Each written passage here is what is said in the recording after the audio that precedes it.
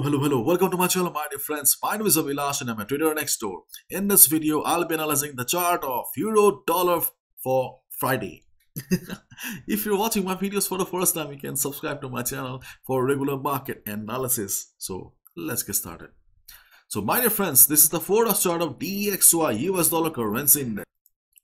Usually we get to see a silent market before the storm the storm means i'm talking about nfp non-farm payroll. Okay.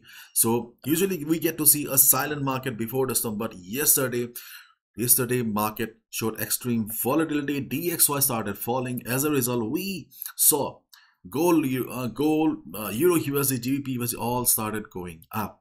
And you can still see that the selling pressure on dxy is still very much present Usually we do not get to see much movement before a big event like NFP, CPI, but today we can see that though we have a big event coming on US session, but still market is or DXY is still facing uh, selling pressure from above. So as a result, my dear friends, you need to be careful after NFP but before NFP as well. So this is the uh, forexfactory.com economy calendar. Here you can see apart from NFP, we have many events lined up. So my dear friends, please be careful with your open positions. As I always say, beginners, new traders, traders with low capital, please avoid trading after NFP. There will be plenty of trading opportunities. There you will find plenty of trading opportunities. So you don't need to gamble with your hard-earned money don't need to gamble your hard-earned money on a day that you do not understand because whenever fundamentals dominate the market, technicals usually fail. So please be careful. Do not gamble with your hard-earned money. Capital protection should be your first priority always. Before we proceed further, I would like to mention about Chart Prime, who has sponsored the today's video. Those who want to generate their own buy and sell signals, please watch the video carefully because Chart Prime is one of the best custom indicator service in the trading world right now. With the tools available in Chart Prime, you can not only generate buy and sell signals, you can also use these tools in your analysis for additional confirmation. They also have a trading community on Discord where they post regular trading ideas. Trust me guys, I have been using Chart Prime for a couple of months and their service is really really awesome. If you really want to know how these indicators work, you can just go to their website chartprime.com and just go to the tutorial section. You will see the functioning of these indicators. Okay, my dear friends, as we are traders, we believe in probability. So there's I won't say that this these indicators are 100% accurate, but with proper risk management, you can definitely make some money. Let me show you. This is the 50 minute chart of gold. You can see the signals generated by chart prime. Okay. See possible reversal down. See, it means that we need to take a sell position here. Possible reversal up means we need to go for a buy position. Possible reversal down means we need to go for a sell position. If not trend reversal at least you can expect 40 50 pips on daily basis with the help of the software. But yes the tool also generates false signals sometimes because 100% accuracy is not possible as we all know. But yes the accuracy is certainly very very good. Along with the buy and sell signals you can also see that they have an oscillator where they also provide the overbought, oversold, divergences and many other things. Just watch the tutorial. You will know all the things. You can just go with the one month subscription and just try the product yourself. I'm very much sure that you will love the product. And my dear friends, if you use the link in the description below you'll also get 30% discount you may also scan the qr code available on the screen for faster registration check them out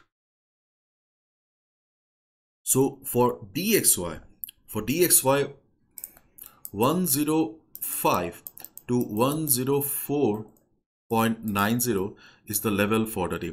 For for the day means before NFP. So before NFP, if you see market coming down also, we can expect this level to act as support.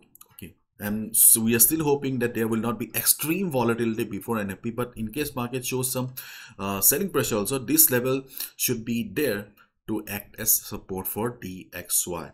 After NFP, what will happen? Nobody can predict the market and on the chart of DXY, we do not have any strong level also. Okay, the extreme levels are quite far away. So there is no point of discussing about levels like 102.60 or 107, 108. Those levels are quite far away.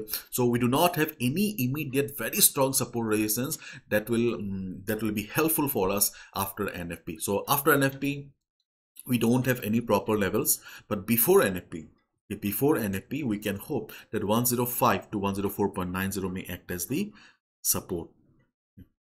And as the market is an uptrend, so I'm not talking about resistance because we can clearly see market is forming higher highs. Okay. So if we look at the news, you can see Euro the advances as the dollar loses traction.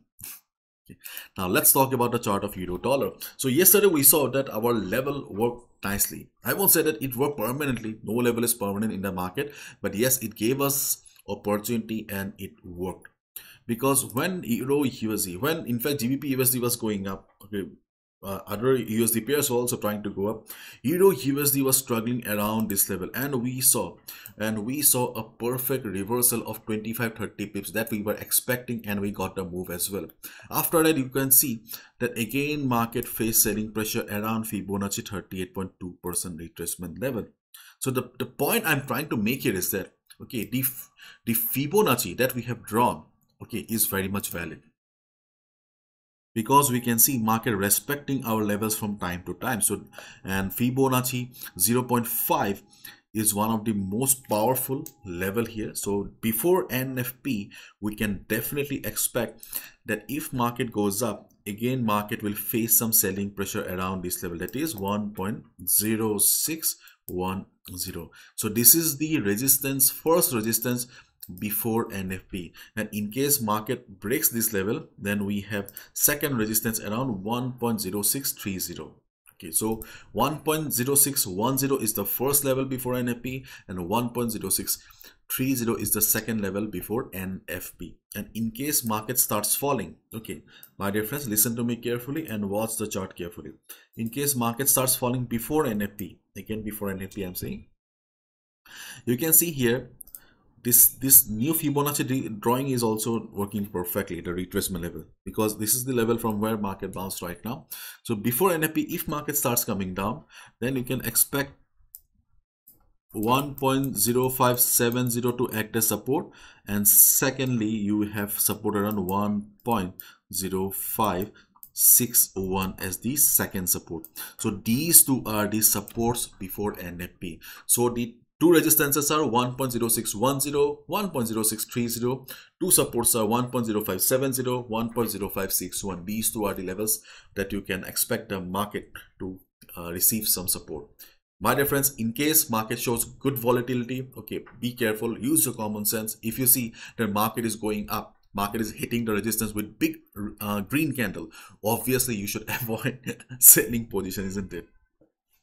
So these are the levels uh, that you can trust before NFP. After NFP, as you can already see that we do not have any major levels on the chart. In case market shows a big drop, okay in case market shows a big drop or euro usd shows a big drop then the only reliable support level is around 1.0500 to 1.0480 that we have already discussed in many of our videos the support level here so in case Euro USD falls badly, this is the only support level where you can expect the market to get some support. Apart from this level, we do not have any major support on the chart of Euro USD.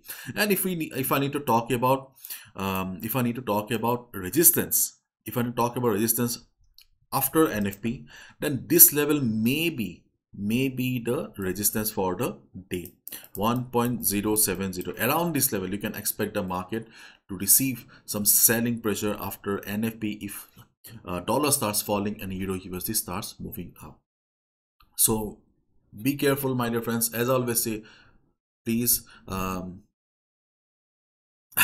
act like a trader not a gambler. That's that's my only request. Anyways this is my analysis. I can be wrong as well. So please follow proper risk management Bye bye. Take care.